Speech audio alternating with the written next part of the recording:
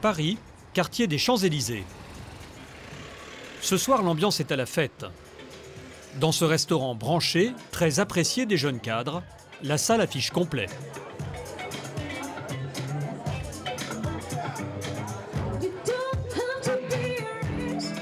Côté musique, les propriétaires du lieu ont invité une chanteuse bien connue des téléspectateurs, Myriam Abel, la gagnante de la Nouvelle Star en 2005.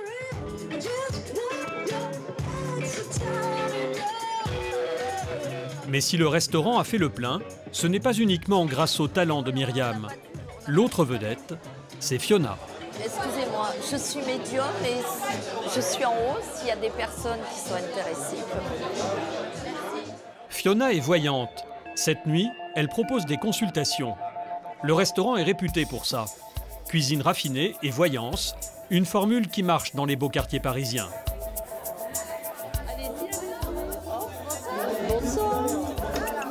La première cliente ne croit pas du tout à la voyance. Mais face à Fiona, elle va aller de surprise en surprise. Quelques secondes de concentration, un jeu de tarot, et la médium va avoir une première vision, plutôt étonnante. Qui a des problèmes d'eau dans la maison De l'eau? Des problèmes d'eau? Oui. Il n'y a pas eu des changements dans la salle de bain, il n'y a pas eu un... Hein Non, vous êtes très forte. Pardon Vous êtes très forte. Ah bon Merci. Qu'est-ce que vous avez vu L'eau, salle de bain, eau Oui, je vois ça. Mais c'est hallucinant. Pourquoi chez vous, il y a eu ça Hein Oui, je sais. J'ai eu une fuite d'eau avec mes voisins du dessous, mais ça prend des proportions qui ne devraient pas être, et, et voilà. Fiona a 60 ans. Elle affirme avoir ce don depuis son enfance. Elle le devrait à sa famille. Avant elle, sa mère et sa grand-mère avaient également des visions. C'est par flash. C'est quand je suis dans l'individu, dans la personne, quoi. Il y a des, des choses qui me viennent, des images, des, c'est comme si j'entendais. Amour, travail, argent. Ce soir, la médium va multiplier les prédictions. Les clients sont aux anges, tout comme les gérants du restaurant. Quand ils ont lancé ces soirées voyance, ils n'imaginaient pas un tel succès. Les gens souvent nous appellent quel est le jour de voyance euh, alors qu'ils ne nous connaissent pas. Euh, Juste parce qu'ils savent qu'il y aura une voyante. euh, voilà, c'est rentré dans les mœurs. Je vous en prie. Merci. Ce soir, Fiona fait un tabac. Même la chanteuse Myriam Abel est curieuse de connaître son avenir. Oh. Alors là, Myriam, il y a une évolution terrible en 2013. Ah ouais? Très très fort. Très. Vous attendez pas des contrats là? Il y a un truc avec l'étranger? Également qui devrait arriver là. Ouais, pour parler, ouais, j'aimerais bien que ça se fasse. Ah, c'est pour parler. Il y a deux personnes qui vous en ont parlé. Hein? Ouais. Je vois ça. Mais c'est vrai que c'est à l'étranger, ouais. Oui, si vous le faites, c'est près de l'eau. Hein? Je le vois. Cette nuit-là, Fiona aura donné près de 20 consultations. Une activité très rentable. Par soir, en moyenne, les restaurants qui font appel à elle la payent jusqu'à 500 euros.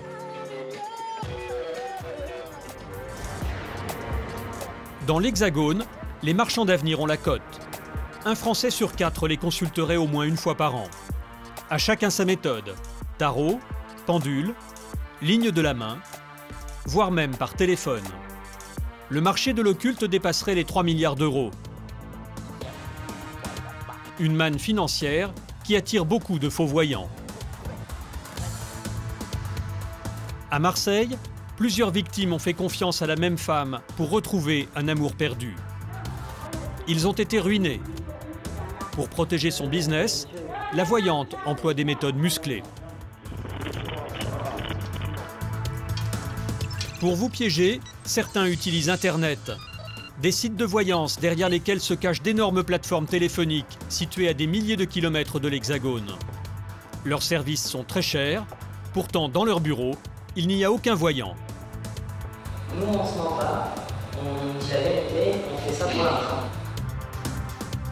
Aujourd'hui, c'est aux États-Unis que le business de la voyance est le plus faramineux. Là-bas, voyants et médiums sont de véritables stars. Maureen Hancock organise des shows hollywoodiens. Elle affirme pouvoir parler avec les morts. Oh, ça suffit, arrêtez, arrêtez. On a beaucoup de gens décédés à contacter ce soir. Sa renommée est telle que certains policiers la sollicitent pour résoudre des affaires criminelles.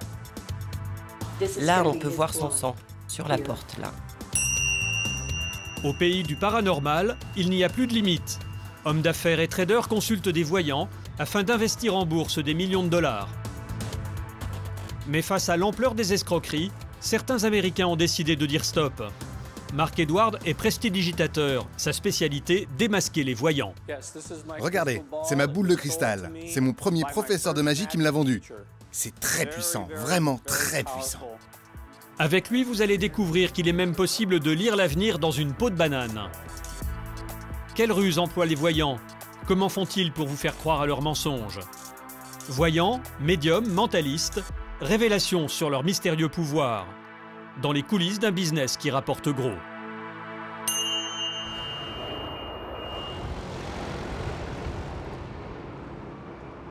Paris, 16e arrondissement. À 36 ans, Frédéric est un chef d'entreprise plein d'avenir. Il s'est lancé dans la restauration rapide. Il possède deux établissements comme celui-ci. Les affaires sont prospères, mais pour développer son business, Frédéric sollicite régulièrement une conseillère pas tout à fait comme les autres.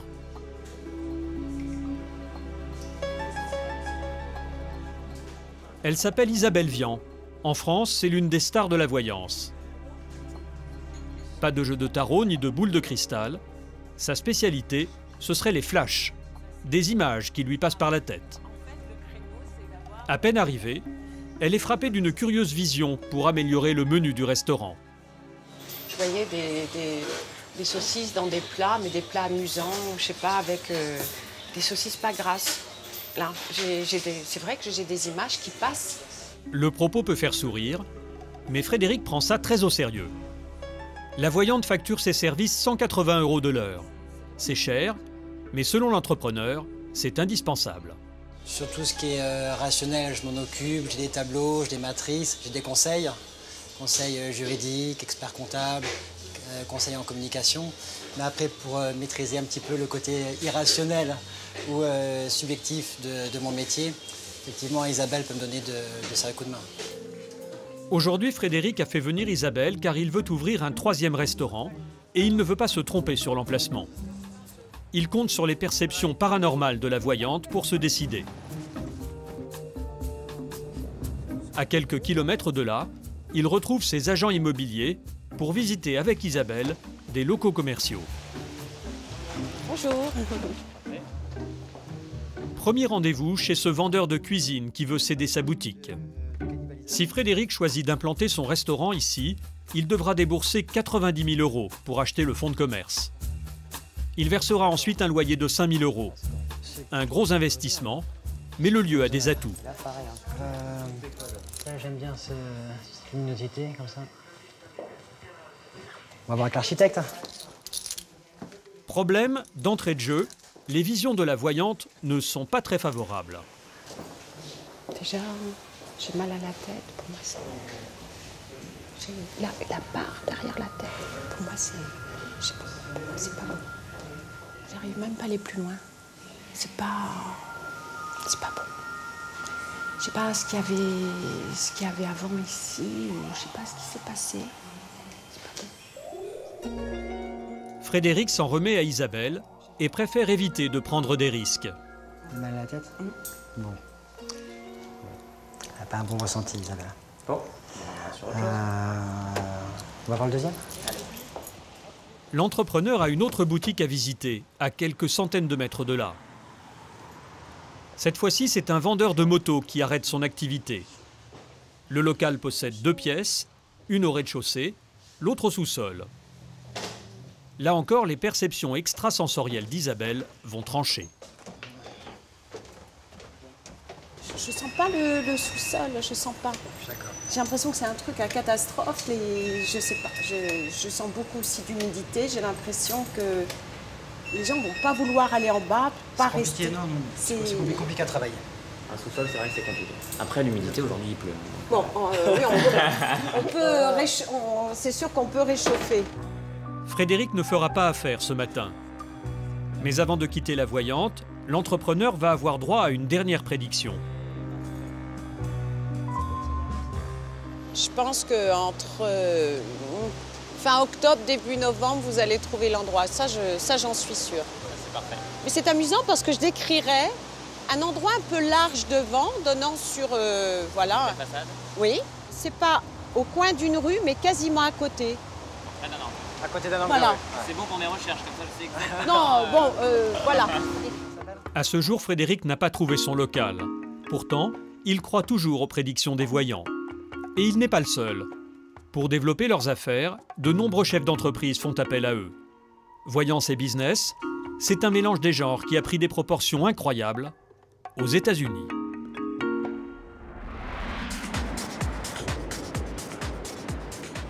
Chicago, l'une des plus grandes villes américaines située dans le nord du pays. En bordure du lac Michigan, son fameux quartier d'affaires et ses dizaines de buildings. Ici, les voyants ont pignon sur rue. Partout, des cabinets de voyance. On les appelle les Psychic Advisors, des conseillers en parapsychologie. Ils comptent des entrepreneurs et des traders parmi leurs clients. À Chicago, les Psychic Advisors seraient près d'une centaine à offrir leurs services aux cadres de la finance. À bord de son coupé, Sidney Friedman, l'un des voyants les plus célèbres de Chicago. Sa spécialité Conseiller des businessmen. Il prétend posséder le don de télépathie, la transmission de pensée. Ce matin, il se rend dans un cabinet de traders. Les bureaux de l'entreprise sont là, je le prédis. Sidney plaisante, mais son rendez-vous est très sérieux. La société qui fait appel à lui aujourd'hui investit des millions d'euros en bourse. Bonjour, comment ça va? Bien? Le client du jour, Brian Conlen, trader depuis plus de 20 ans. Dans ses bureaux, une dizaine de collègues, les yeux rivés sur les cours de la bourse. C'est la première fois que Brian consulte un voyant pour placer son argent. Il espère obtenir un bon tuyau. J'aimerais bien qu'il m'aide à prendre des décisions pour faire les bons choix. Et faire plus de profit, ce serait bien. Pour impressionner son client et gagner sa confiance, Sidney commence par un exercice de télépathie.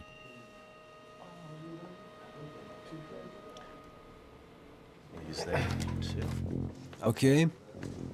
Regardez-moi. Regardez-moi droit dans les yeux. Comme ça. D'accord. Prenez le crayon, s'il vous plaît. Vous vous occupez de chiffres toute la journée.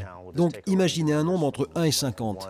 Choisissez-en un, n'importe lequel, entre 1 et 50. 33. Vous venez juste d'y penser, n'est-ce pas Ouais. Regardez ce que j'avais écrit sur le carnet. Waouh, vous êtes très fort. Vous avez vu ça, les gars Et regardez. Quoi, il y a marqué 33 sur le cahier Ah, C'est dingue. Vous êtes trop fort. Brian est bluffé. Sidney a fait son petit effet. Place maintenant aux prédictions. Le voyant est venu avec un accessoire atypique dans le monde de la finance. Un pendule. Concentrez-vous sur le mouvement. Avant, arrière, avant, arrière. C'est une métaphore pour figurer le va-et-vient de toute chose dans l'univers. Plus vous travaillerez avec ça, plus vous vous entraînerez, et plus vous allez pouvoir sentir les variations d'un investissement, ou même du marché dans son ensemble. Muni de son pendule, Sidney pourrait prédire les cours de la bourse. Il y a deux semaines, Brian a investi dans une multinationale du café. Il veut savoir s'il doit tout vendre au plus vite ou conserver ses actions. Vous l'avez acheté ici? Ouais, ça valait 32 euros. Et maintenant, c'est là Oui, euh, aujourd'hui, elle est à 36 euros. Brian va devoir suspendre le pendule au-dessus de ce petit cadran numéroté de 1 à 10. Plus le pendule s'approchera du chiffre 10, plus l'action prendra de la valeur. Suspense. Le pendule se dirige vers le 10. Bonne nouvelle. À en croire les dires de Sydney, le cours de l'action devrait grimper. Ouh, c'est fort. Moi, je pense qu'il va y avoir une première chute du cours. Et après, ça va augmenter, fortement. Verdict, dans quelques mois. En attendant d'éventuels profits, Brian va devoir verser à Sydney 200 euros pour chaque demi-heure passée dans son bureau. C'est cher, mais pour ce trader chevronné, c'est un élément de plus pour prendre les bonnes décisions. Nous, on s'intéresse à tout pour faire de l'argent, peu importe. Si je peux avoir tous les atouts dans mon jeu, eh bien, j'essaie de les avoir. Sidney est-il vraiment capable de prédire l'avenir? Possède-t-il le don de télépathie comme il le prétend? Rien n'est moins sûr.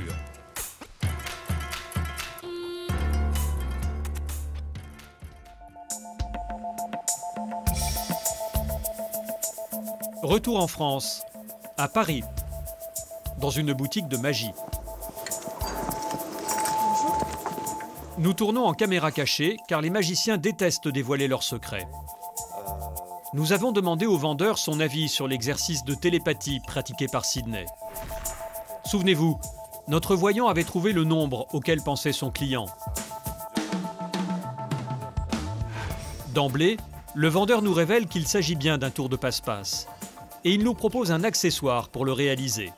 Je vais voir s'il nous en reste. Le nail writer. Le nail writer En français, on appelle ça un faux pouce.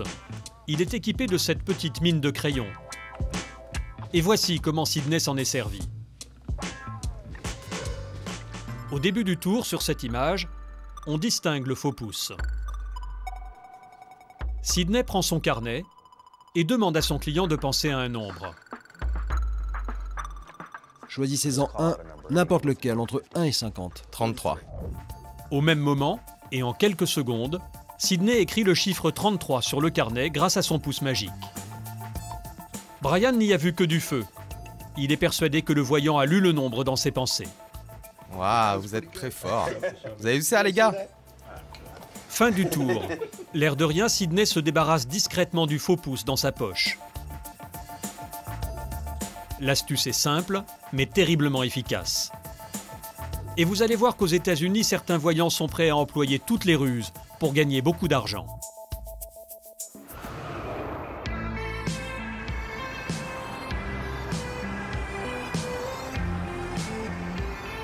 Boston, à deux heures de route de New York.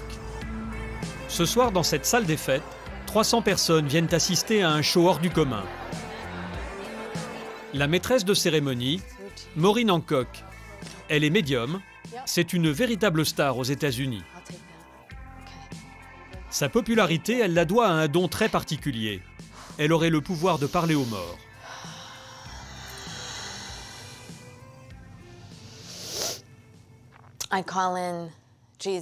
J'ai appelé Jésus trois fois. J'ai appelé le Saint-Esprit. J'ai aussi prié Marie, la Mère de Dieu. Et je demande à tous mes guides, tous mes anges de m'entourer, de m'aider et d'être les messagers pour les gens de la salle et également pour tous ceux qui sont de l'autre côté, les esprits de l'au-delà.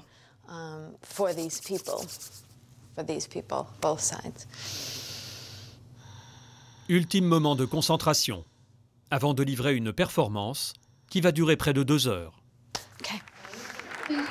Applaudissez, applaudissez pour la grande médium Maureen Hancock. Oh, ça suffit, arrêtez, arrêtez. On a beaucoup de gens décédés à contacter ce soir. Les spectateurs ont déboursé 30 euros chacun. Et tous attendent quelque chose d'unique. Pouvoir communiquer par l'intermédiaire de Maureen avec des membres de leur famille ou des proches décédés. D'ailleurs, Maureen va très vite entrer en contact avec un premier esprit, venu de l'au-delà. Il y a une mère ici dont l'enfant est décédé. Hmm, ok, c'est vous là-bas. Il me parle. Il me dit va la voir, va la voir. La médium s'approche de la maman dont le fils est décédé il y a peu de temps. Face à cette mère en pleurs, Maureen se fait l'écho des paroles du défunt.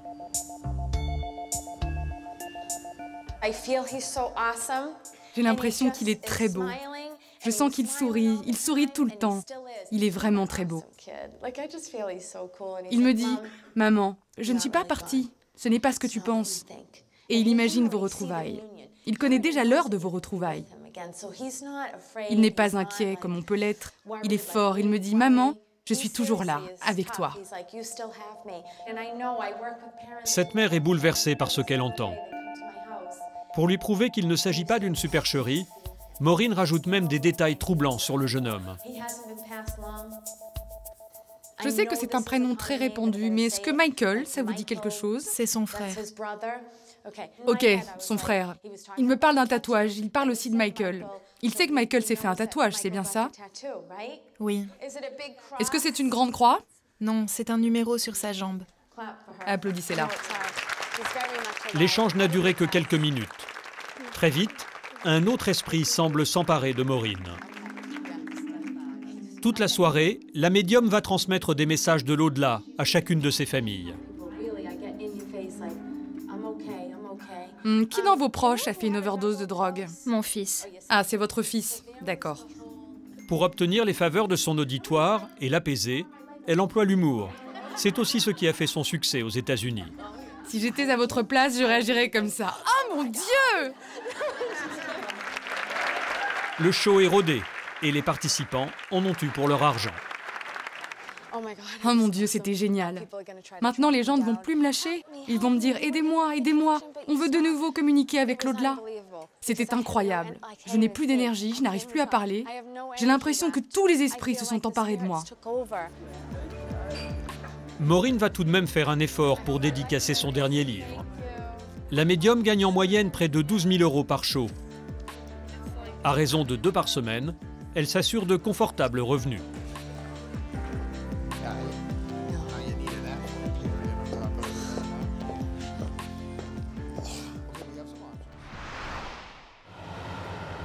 Le lendemain matin, dans la banlieue chic de Boston, nous retrouvons Maureen dans l'une de ses propriétés, cette coquette villa. Elle attend un client très particulier. Bonjour Entrez, comment allez-vous Cindy Phelps est policière. Elle est inspectrice dans une brigade criminelle d'une ville de Caroline du Nord. Elle a fait un long voyage, plus de trois heures d'avion, pour consulter Maureen sur plusieurs affaires de meurtre. Sa démarche n'a rien d'officiel. Aux États-Unis, les autorités déconseillent généralement à leurs policiers de recourir aux médiums. Mais Cindy y croit. Elle amène souvent des dossiers confidentiels à Maureen.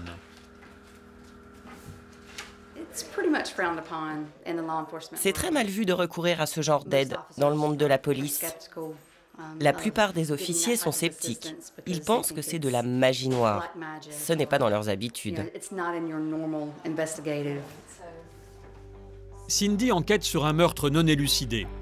Elle a apporté avec elle les photos de la scène de crime. L'homicide s'est déroulé il y a plus d'un an en Caroline du Nord. Sans raison apparente, ce jeune homme de 21 ans a été tué par arme à feu, chez lui, en pleine nuit. Le meurtrier se trouvait à l'extérieur. Il a tiré à travers la porte. Imaginez que ce soit la porte. Il était debout, comme ça contre la porte. Il poussait comme ça. Sa tête était contre la porte. La balle est rentrée par là et elle est ressortie par là. Là, on peut voir son sang sur la porte, là.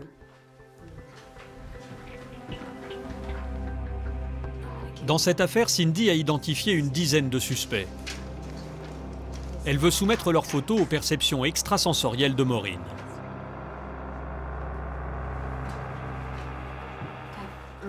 Ok, dis-moi où je dois commencer. Mets ma main sur les photos. Ici Là Sans voir leur visage, la médium cherche un signe. J'entends des sortes de cris. Il me dit non, oui, non, oui.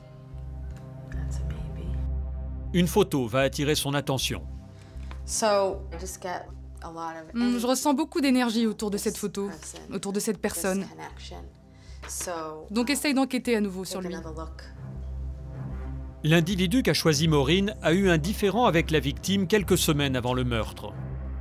Mais il n'a jamais été inquiété, car à l'époque, cette dispute semblait sans importance. D'après les amis de la victime, ce gars lui a piqué de l'argent sur un deal. Mais la victime a laissé tomber. Il pensait que ça valait pas le coup. C'était juste quelques centaines de dollars. Maureen semble faire fausse route, mais l'inspectrice préfère ne rien prendre à la légère. Je me dis vraiment qu'il faut que j'enquête à nouveau là-dessus et que je refasse les auditions. Car de toute évidence, j'ai loupé quelque chose dans cette histoire. Aux dernières nouvelles, Cindy n'a toujours pas trouvé le coupable. Malgré les doutes qui pèsent sur la crédibilité de Maureen, la médium continue à remplir les salles de spectacle dans les environs de Boston. Cet après-midi, elle a été invitée dans une école par une association de parents d'élèves. Ils ont fait venir la star pour apporter un peu de réconfort à des familles qui ont toutes perdu un enfant. Il y a plus de 700 personnes dans la salle. Et comme toujours, Maureen est accueillie comme une star.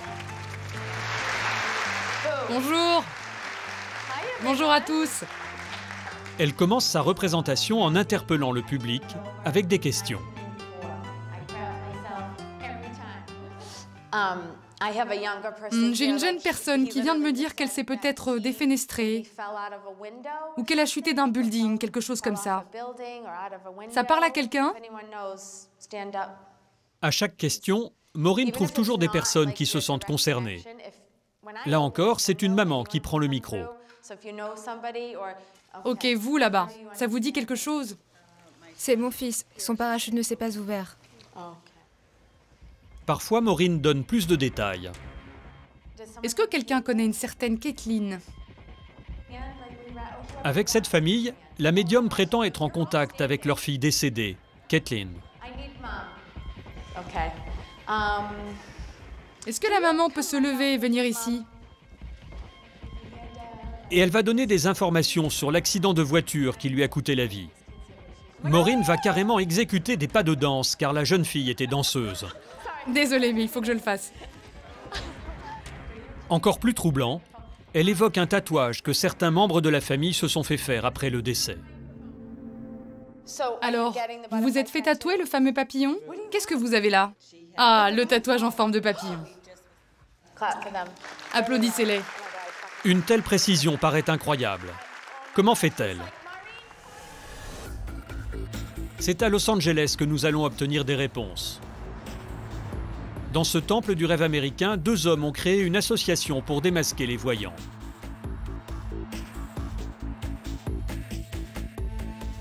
Mark et son collègue Jim font partie d'un collectif en guerre contre les escrocs du paranormal. Nous leur avons montré le spectacle de Maureen.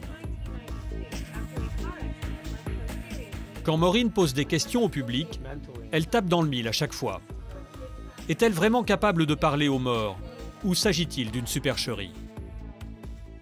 Plus l'audience est importante, plus la probabilité de trouver quelqu'un de concerné est grande.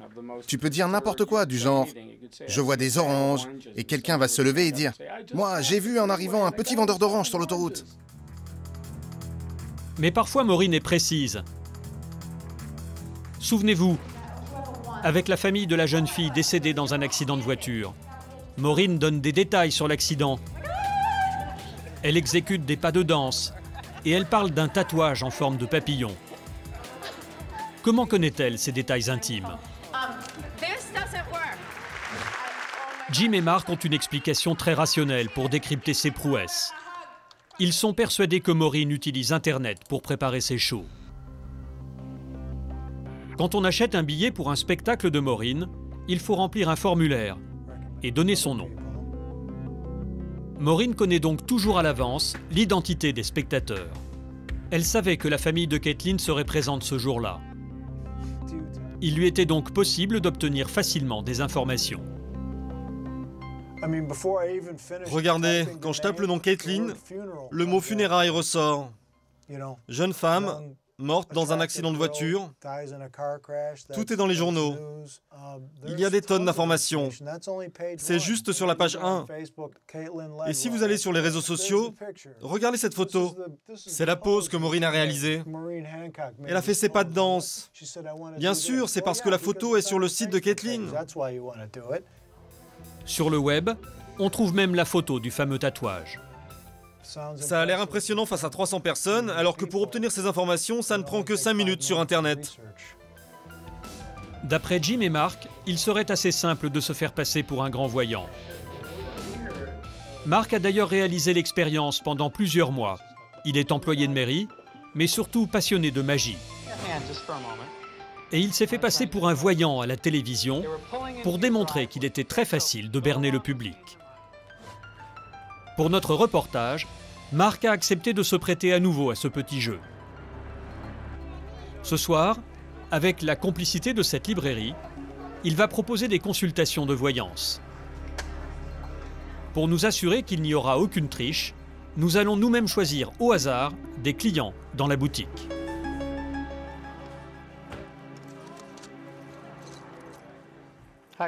Bonjour.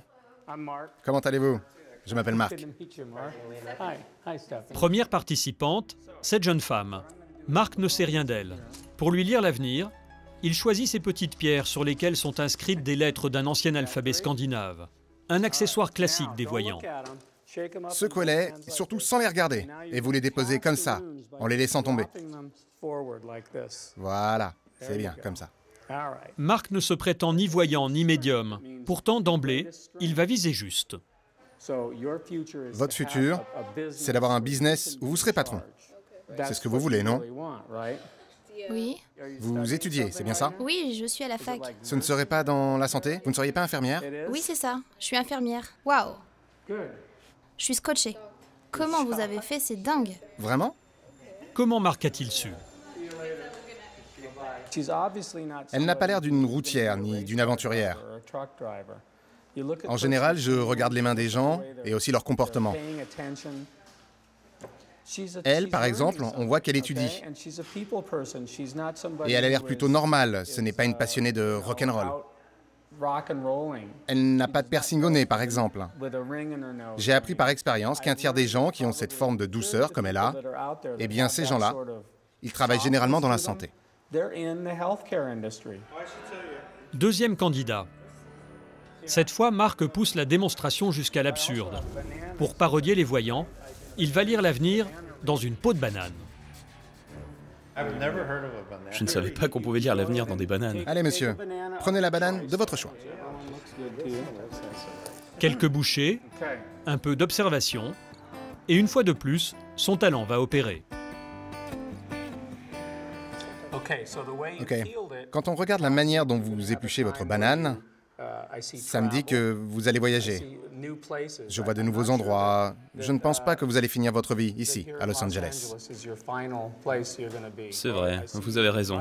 Je vous vois dans un endroit plus calme, euh, entouré de nature, moins urbain, moins de bruit, moins de confusion. Vous avez complètement raison. C'est bien ça, je ne me trompe pas Eh oui. Vous aimez pêcher, n'est-ce pas Oui, c'est mon sport favori. Ah oui, c'est votre sport favori Marc a encore fait mouche et le paranormal n'y est pas pour grand-chose. Sa technique, un peu d'intuition, de psychologie et beaucoup d'expérience. Eh bien, c'est un mélange de devinettes, de chance. Il faut avoir une bonne technique, une manière de raconter les histoires, un peu comme une petite musique. Il faut être convaincant sans rire. Le plus dur avec les bananes, c'est de ne pas rire, justement. Ce soir, après avoir englouti plusieurs kilos de bananes, ses participants repartiront comblés. Marc effectue souvent ce genre de démonstrations sur les chaînes américaines pour éduquer le public et lutter contre les escroqueries. Mais malgré ses efforts, de plus en plus d'Américains tombent dans le panneau.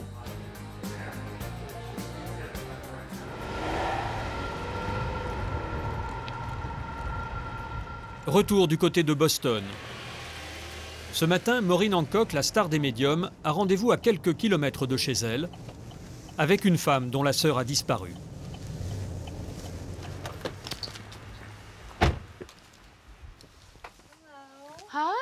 Bonjour, je suis ravie de vous voir. Patricia a 41 ans. Elle vit dans cette maison avec sa famille. Sa sœur Debbie a disparu il y a 12 ans sans laisser de traces. Patricia aimerait que Maureen l'aide à obtenir des informations. Regarde, c'est elle là. Elle a mon bébé dans les bras, quand il était tout petit. D'après Maureen, il n'y a plus d'espoir. La jeune femme serait décédée. Je suis sûre que ta sœur est décédée. Et au fond de ton cœur, je pense que tu le sais. Il y a eu des signes, tu t'en es rendu compte. Tu le sais, n'est-ce pas? Oui. Elle ne serait jamais partie. Oui, oui, elle n'aurait jamais quitté ses enfants. Elle me le dit en ce moment. Elle me le jure. Au moment de sa disparition, Debbie avait 30 ans. Elle vivait avec son mari et ses deux enfants. Son compagnon a très vite été suspecté de l'avoir tuée. Mais faute de preuves et en l'absence de corps, l'affaire a été classée sans suite. Aujourd'hui, le mystère reste entier. Allez, on y va. Ok, c'est parti. Maureen prétend entrer en contact avec l'esprit de Debbie. Elle se rend à une heure de route de là, dans un endroit où la jeune femme a été aperçue pour la dernière fois. C'était sur ce parking. À l'époque, Debbie travaillait dans ce café avec son mari. Des témoins affirment que le jour de sa disparition, le couple se serait disputé en rentrant chez eux. Le mari aurait-il commis un acte irréparable? À quelques centaines de mètres du parking, Maureen éprouve tout d'un coup une étrange sensation. Je pense qu'ils se sont arrêtés ici, là, dans ces bois. C'est ce que me dit Debbie. Quand j'ai ce genre de connexion avec les esprits, j'ai l'impression d'être malade. En ce moment, j'ai très mal au ventre. À en croire l'esprit de Debbie, le crime aurait eu lieu dans ce bois. Quand je regarde sa photo, elle me dit, c'est bien là. Tu as raison. Je revois la scène, c'était la panique. Elle criait, il criait. Elle disait, je te déteste. Et là, il l'a attrapée et il l'a étranglée. Elle me dit, je suis morte immédiatement. Je n'ai pas souffert. La scène s'est-elle déroulée comme le décrit Maureen? Pour convaincre Patricia, la médium tente quelque chose. C'est quoi ça?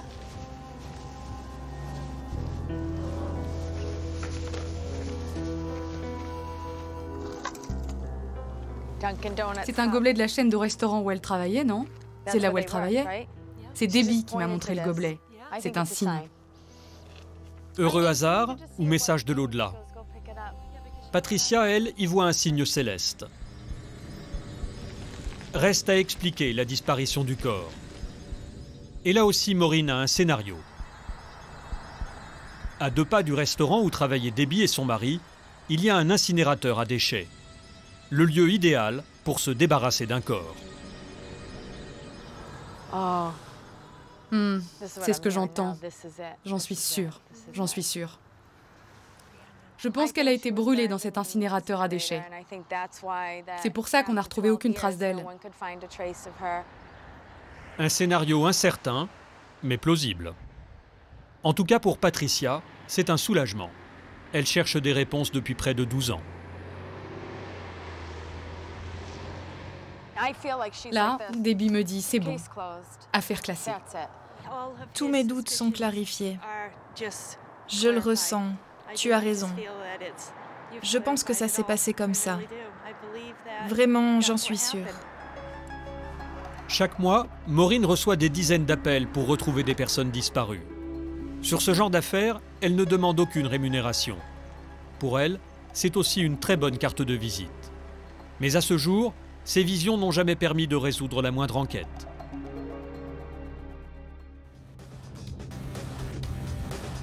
Aux États-Unis, l'intrusion d'un médium dans les affaires de police est fréquente. Le message est souvent bienveillant, pourtant les conséquences peuvent être dramatiques. Surtout quand les médiums s'adressent à des millions de téléspectateurs. Ce soir-là, un animateur a fait venir Sylvia Brown, une célèbre voyante américaine. Sur le plateau, face à elle, Les parents désespérés d'un garçon de 11 ans. Il a disparu depuis plusieurs mois. La médium prétend savoir ce qui lui est arrivé. Est-ce qu'il a été enlevé? Oui, il a été enlevé, c'est ça. Il y a une description de la personne qui a fait ça? Oui, il avait une allure espagnole, mais étonnamment, il portait des dreadlocks. Est-ce qu'il est toujours en vie? Non. Les parents viennent d'apprendre en direct la mort de leur fils. Sauf que ce soir-là, la voyante a commis un terrible dérapage. Nous avons retrouvé les parents du garçon, à Richwoods. C'est dans ce petit village du Missouri que tout a commencé. Il y a dix ans, un soir d'automne, le fils de Pamela et Craig Hackers disparaît. Il n'a que 11 ans. Très vite, le couple alerte la police. Dès que nous avons compris que Sean n'était pas uniquement en retard pour le dîner, on s'est mis à faire des avis de recherche. C'est l'un des premiers que nous avons fait. On offrait une récompense de 8000 euros. À l'époque, le moindre mètre carré est passé au crible. Policiers, amis, voisins, tout le monde s'y met. Mais Sean reste introuvable. Des dizaines de médiums vont alors s'intéresser à l'affaire. Et en désespoir de cause, Pamela et Craig finissent par participer à cette émission. Le cauchemar ne va pas s'arrêter là. Très vite, une autre vedette de la voyance les pousse à entreprendre des fouilles près de chez eux, dans cette gare. Il s'appelle James Van Praag. Il leur certifie que le cadavre de Sean est caché dans ces wagons. Il n'arrêtait pas de nous dire on s'approche, on s'approche. Il est là, il est là, il vous appelle. Il disait vous ne l'entendez pas, il vous appelle. Il appelle votre nom, vous ne l'entendez pas Ce sont des mots que je n'oublierai jamais. Je n'oublierai jamais ce que j'ai ressenti à ce moment-là. Les fouilles ne donnent rien. Les parents n'y croient plus. Mais quatre ans plus tard, un incroyable coup de théâtre survient. Alors qu'ils enquêtent sur une affaire d'enlèvement, les policiers tombent nez à nez avec Sean. Pendant toutes ces années, le jeune garçon était séquestré à une heure de route de chez lui par ce pédophile. L'homme sera condamné à la prison à perpétuité. Sean a subi les pires sévices, mais il est vivant. Et pour ses parents, c'est un miracle. Aujourd'hui, il a repris le cours de sa vie. Mais Pamela et Craig, eux, en veulent toujours aux deux médiums qui ont profité de leur détresse. D'autant plus qu'ils n'ont jamais été inquiétés.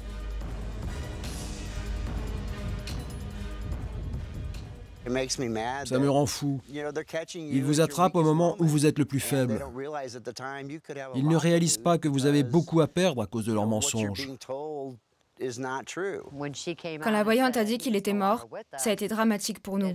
Car à partir de là, les gens ont arrêté de faire les recherches. Je pense que c'est criminel. Il faudrait des lois contre ça. Les deux médiums refusent toute interview pour s'expliquer. Et plus grave, ils continuent d'exercer en toute impunité. Dans le domaine du paranormal, rares sont les clients qui portent plainte. Par honte ou par peur, beaucoup préfèrent tourner la page. Il faut dire que quand on leur résiste, certains voyants peuvent se montrer très menaçants.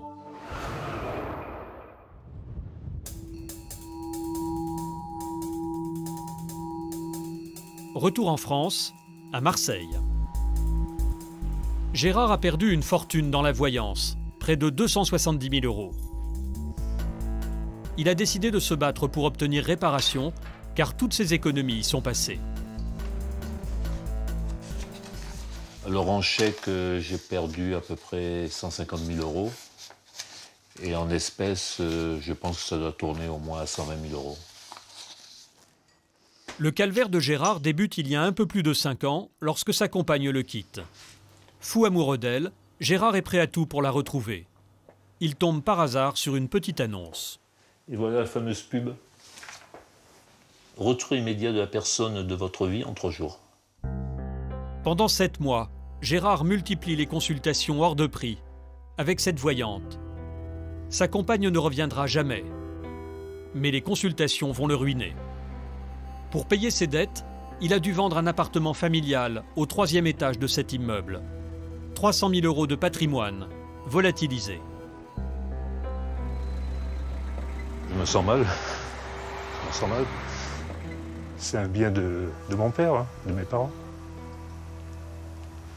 que j'ai pas su euh, exploiter et garder. Comment la voyance a-t-elle pu amener Gérard au bord du précipice? Nous décidons de rencontrer sa voyante en nous faisant passer pour un client. C'est dans ce quartier chic de la ville qu'elle a installé son cabinet. Elle s'appelle Christina. Bonjour. Merci. c'est sympa. Nous filmons en caméra cachée et prétextons un chagrin d'amour pour comprendre comment opère Christina. Permettre à ses clients de renouer avec l'être aimé, ce serait sa spécialité. Elle commence par tirer les cartes, mais très vite, elle nous propose des services hors de prix. La vérité d'affection, comme je vous l'ai dit, c'est 660 euros. Bon, alors comment ça marche ah ben, Si vous voulez, on attaque à partir de ce soir. Je vous demande d'atteler ça, c'est l'endroit où vous êtes venir. Je vais commander les produits. Et j'attaque à partir de. Les, les produits, oui, qu'est-ce que c'est Du liquide, donc le flambé avec du charbon. Après, c'est ça le secret. D'accord. Comment justifier de telles sommes? Nous finissons par lui parler de Gérard. Et le ton va rapidement monter. Vous avez déjà subi le déprime, vous? Vous savez ce que c'est? Moi, je l'ai subi. Demandez aux gens qui y sont vraiment. Si, même si Christina leur prendrait 50 000 euros pour le lendemain les mettre sur pied, s'il les donnerait pas. Cet homme, il est venu. Ouais. Il était là d'un moment de détresse, un moment de suicide. Ouais. J'ai gardé cet homme le matin, le midi, l'après-midi, le soir, la nuit. Je l'ai soutenu. Je l'ai sorti de tout ça. Il avait permis de mourir. Et non, il faut pas rire. Non, je n'ai pas. Je n'ai pas. La voyante fait mine de s'absenter. Elle revient accompagnée de deux individus, plutôt menaçants. Ils ferment la porte à clé et l'ambiance va vite changer. Vous êtes dans quel but Je suis journaliste. Je voulais interroger Christina.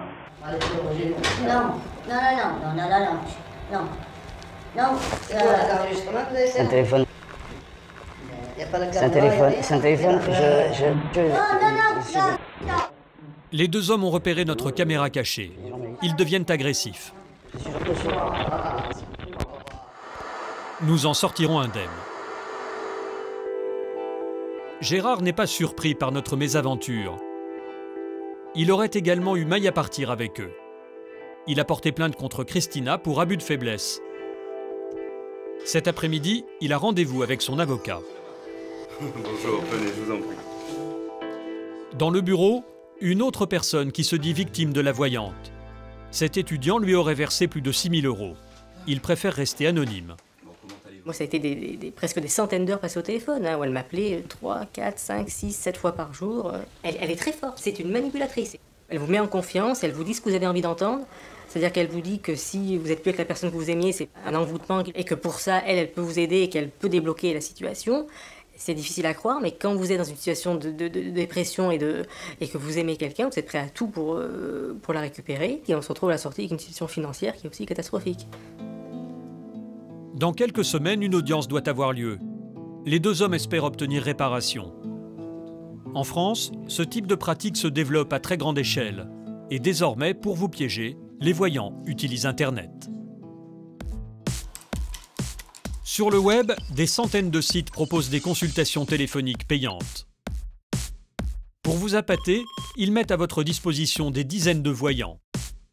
En quelques clics, vous avez le choix entre les bons plans du jour ou les voyants les mieux notés.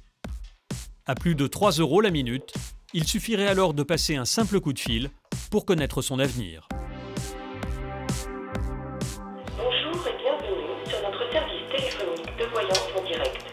Pour comprendre ce qui se cache derrière ces offres de voyance téléphonique, nous décidons d'enquêter sur une société qui gère l'un des sites les plus fréquentés de France. L'entreprise est française, son siège est installé sur la côte d'Azur, mais pour faire plus de profit, la production a été délocalisée en Tunisie. Direction Sousse, une petite ville à 150 km au sud de Tunis. Derrière ces murs, la filiale de la société. Les clients français ne le savent pas, mais lorsqu'ils téléphonent à une voyante, leur appel aboutit le plus souvent dans ces locaux. Pour pénétrer dans l'entreprise, nous avons demandé à Karim, un jeune Tunisien, de passer un entretien d'embauche. C'est pour euh, déposer une candidature, un CV. Ok, juste euh, passer un Ah, petit peu. tu attends là-bas dans la salle.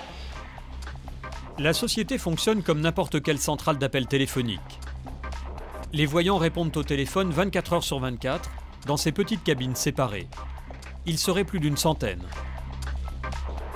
Karim ne connaît rien à la voyance, pourtant il a décroché cet entretien d'embauche sans difficulté.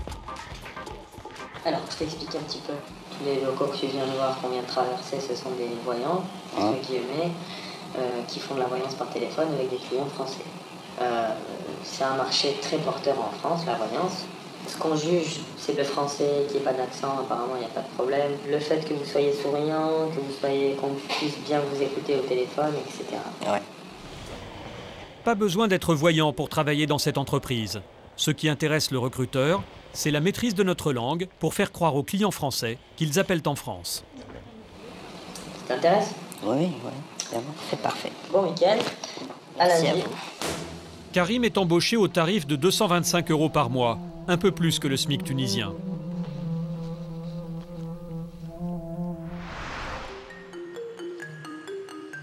Deux jours plus tard, au petit matin, Karim est de retour pour prendre ses fonctions. Avant de jouer les voyants au téléphone, il va d'abord suivre une formation avec deux autres recrues. C'est un commercial qui s'en occupe. Lui non plus ne connaît rien à la voyance. Son seul objectif, gagner le plus d'argent possible. 70% des, gens qui travaillent dans ça ne croient pas à la voyance. Donc nous, on se ment pas, on dit la vérité, on fait ça pour, euh, pour l'argent. Parce que ça rapporte beaucoup d'argent. On cherche des, commerciaux purs. Des commerciaux purs au téléphone qui sont capables de vendre quelque chose à quelqu'un qui en a besoin ou non. Lorsqu'un client français contacte l'un des faux voyants, il paye 15 euros les 10 premières minutes. Ensuite, le tarif explose. Chaque minute supplémentaire est facturée 7,50 euros. Le formateur va donc enseigner à ses faux voyants la méthode pour faire durer la conversation plus de 10 minutes. Pendant ces 10 minutes, le voyant, il me met des doutes dans la tête, il me pose des questions intéressantes, il me, donne envie de rester un petit peu. Et plus je prolonge, plus je paye. Pour 20 minutes de consultation, j'ai payé 90 euros, alors qu'on m'a dit au début que c'était quelqu'un d'autre. Je vais vous dire quelque chose qui va peut-être vous choquer. Les femmes, au téléphone, dans la voyance, il faut draguer les hommes. Et les hommes, avec les femmes, il faut leur faire du charme, il faut les séduire avec une voix un petit peu euh, suave, etc. La méthode est écrite mot à mot sur un manuel distribué aux élèves. En bleu, les phrases que le faux voyant doit prononcer. En vert et en noir, des conseils pour mettre le client à l'aise. S'il chuchote, vous chuchotez. S'il rit, vous riez. Le voyant ne doit jamais perdre son objectif de vue, convaincre. Même quand le client n'a pas d'argent, il existe une recette pour le faire payer. Si on fait payer la carte bleue et qu'elle passe pas, on lui fait payer la moitié et on lui fait payer le reste le mois prochain. D'accord? Ça devient une facilité de paiement. Comme si vous faites un acompte, euh, une avance, Face à des techniques aussi cyniques, certains employés ont décidé de ne plus jouer le jeu. C'est le cas de Yasmina. Elle a travaillé dans l'entreprise pendant plusieurs années avant de démissionner. Elle a accepté de témoigner à visage caché. À l'époque, sans aucun don de voyance, elle réussissait à faire gagner à cette société plus de 5000 euros par mois en harcelant les clients. Tu dois faire 5 000 euros. Si tu ne fais pas 5 000 euros, tu, te retrouves à la fin du mois à la porte. Il y a des personnes qui font n'importe quoi pour faire 5 000 euros. Et avec les relances qu'ils envoient aux clients, à ces personnes pauvres en fait, vulnérables, ben, ils les provoquent à appeler même s'ils n'ont pas d'argent. C'est de l'arnaque. Je trouve pas d'autres mots. Moi, personnellement, je me suis déjà retrouvée au, téléphone avec des, clients euh, qui, des clientes qui pleuraient parce qu'elles n'avaient plus d'argent, mais elles étaient devenues accros à la voyance. Chaque année, cette entreprise tromperait plus de 400 000 clients. Elle ferait un chiffre d'affaires de 30 millions d'euros.